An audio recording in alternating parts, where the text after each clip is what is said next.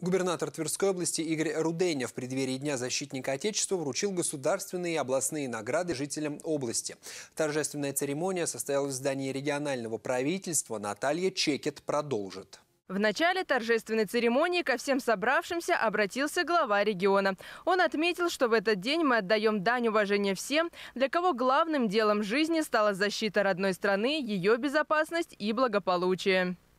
Мы бережно храним память о жителях Верхневолжья, которые в разные исторические эпохи героически сражались за нашу землю, за нашу родину, за наших людей. И оставили не только о себе память, но и оставили неизгладимый след в истории нашей страны.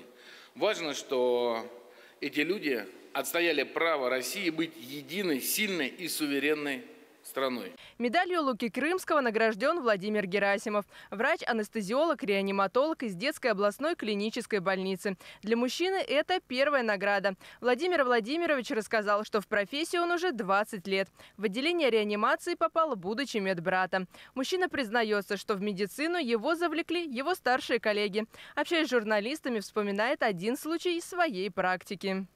В начале карьеры было, когда ребенок был с очень тяжелой инфекцией в районе. Там ему помощь на месте оказать не могли, и вести его было тоже, с другой стороны, крайне опасно.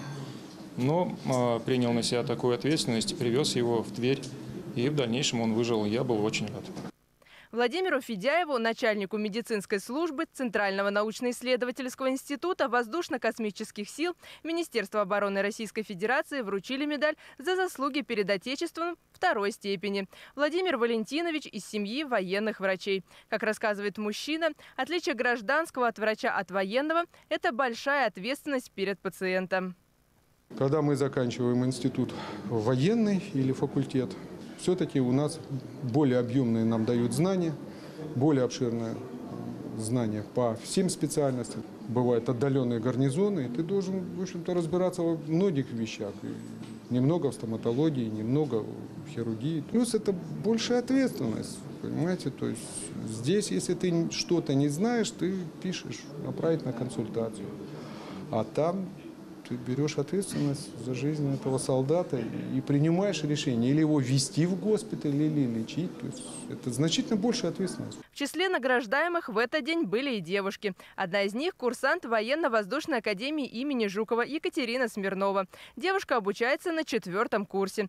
Свою будущую профессию выбрала осознанно. В этот день Екатерине вручили благодарность губернатора Тверской области. Сейчас девушка работает над 3D-проектом военного городка Академии. Сейчас разрабатывается проект, мы его хотим повести на армию, но главное успеть все сделать – это 3D-модель Академии, ну, военного городка. Еще также участвуют военные городки, которые прилегают к Академии. Это Гатчина, Владимир. Вот. Это будет 3D-модель, в которой можно будет походить, все посмотреть. Также эта модель подразумевает собой автоматизацию учебного процесса, где можно выбрать э, кабинеты по оснащенности, по числу личного состава. То есть упростит э, работу в структуре вооруженных сил. Почетной грамоты губернатора Тверской области был удостоен заместитель начальника по воспитательной работе Тверского Суворовского училища Сергей Туденков. Мужчина прошел путь от заместителя командира роты по политической части до главного инспектора отдела по работе с личным составом командования войск ВКО. Самая дорогая награда – это вот эта первая моя медаль.